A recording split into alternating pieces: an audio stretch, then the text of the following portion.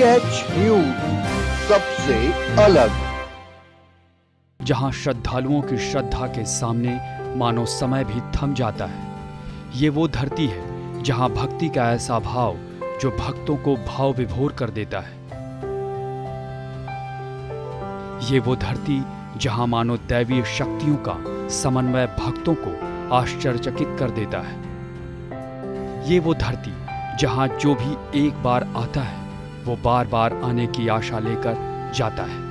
और क्यों नहीं? आखिर ये वही धरती है, जिसके बारे में कहा जाता है कि यहाँ के कण कण में साईं बसते हैं। और मान्यता भी यही है कि जहाँ साईं है, बेशक वहीं शिरडी है। शिरडी था और शिरडी ही रहेगा।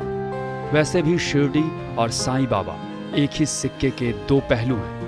दुनिया के लिए शिरडी मतलब साईं और साईं मतलब शिरडी।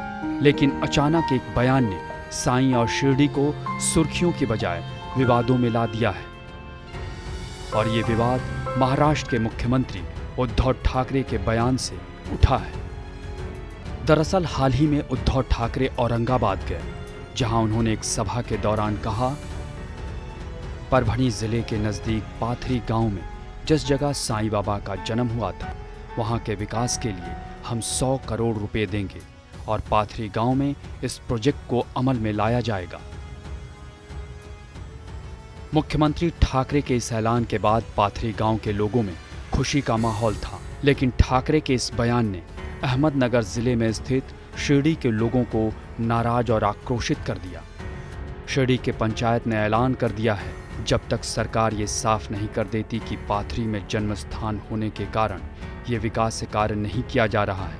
तब तक शिरडी शहर रविवार से अनिश्चित काल के लिए बंद हो रहा है। हालाँकि शिरडी आने वाले भक्त मंदिर में साईं बाबा के दर्शन कर सकते हैं, लेकिन शहर में आश्रम, दुकानें, होटल, वाहन सभी बंद रहेंगे और दुनिया भर के श्रद्धालुओं को कोई दिक्कत न हो। इसे देखते हुए दो दिन पहले ही शिरडी बंद का संदेश दिया जा रहा है। दरअसल शिरडी के लोगों का मानना है कि जिन साईं बाबा ने शिरडी आने के बाद कभी अपना असली नाम, गाँव, जाति, धर्म कुछ भी नहीं बताया। वो सभी धर्मों के लिए सर्वधर्म संभाव के प्रतीक बने। आज उनके बारे में ही इस तरह की गलत जानकारी दी जा रही है। वैसे मान्यता है कि साईं बाबा साल अठारह सौ चौवन में पहली बार शिरडी में दिखाई दिए, तब उनकी उम्र करीब 16 साल थी। कहा जाता है कि खंडोबा मंदिर के पुजारी ने उन्हें पहली बार आओ साईं कहकर बुलाया। और तभी से शिरडी के फकीर साईं बाबा बन गए। बहरहाल, जिसकी जैसी श्रद्धा रही, किसी ने साईं बाबा को फकीर, किसी ने साधु, किसी ने संत तो किसी ने भगवान मानकर पूजा। साईं बाबा भी श्रद्धा, सबुरी, समर्पण और प्रेम के प्रतीक बन, ज़िंदगी भर इसी को जिए और लोगों को इसी तरह जीना सिखाते रहे, क्योंकि यही सच है। शाश्वत है। लेकिन आज उसी साईं बाबा के जन्म स्थान को लेकर सत्ता और सियासी गलियारे से आए एक बयान ने विवाद खड़ा कर बहस छेड़ दी है। हालाँकि उम्मीद यही है कि इसका समाधान भी यहीं से आएगा।